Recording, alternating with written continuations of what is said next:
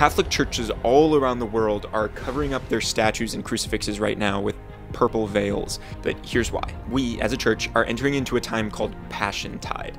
This is the last two weeks of Lent. During this time, traditionally, the church is called to focus particularly on Christ's suffering. We can do this by reading scriptural accounts of the Passion, reflecting on the stations of the cross, increasing our own personal prayer, and I just can't stress enough how much more personally meaningful the triumph of the resurrection becomes when we truly try our best to understand the suffering of Christ that preceded it. We shouldn't just let this time pass us by without without properly reflecting on it. And this is one of the reasons why I'm so proud to say that Truth Charting has entered into a partnership with the Hallow app. It's a beautifully crafted tool to help the faithful pray and meditate on what's going on right now in the liturgical season. I use Hallow almost every day, and one of the things that I just love about them is that they're always making new and relevant content to the season of the church that we're currently in. So, needless to say, they're going crazy for Passion Tide. We've got Jeff Cavins walking us through scriptural reflections throughout the week. And on Spy Wednesday, it's called Spy Wednesday because Judas was on that spy stuff. Sister Miriam is leading us through an imaginative prayer focused on Mary at the foot of the cross. Hallow is running a really high quality operation, but there's always a free version of the app available. And for the next 30 days, so all throughout Passion Tide, Holy Week, and Easter, you can have a free trial to all of the content on Hallow, the, the full version of Hallow. So if you personally decide that maybe this is something that your prayer life could potentially benefit from,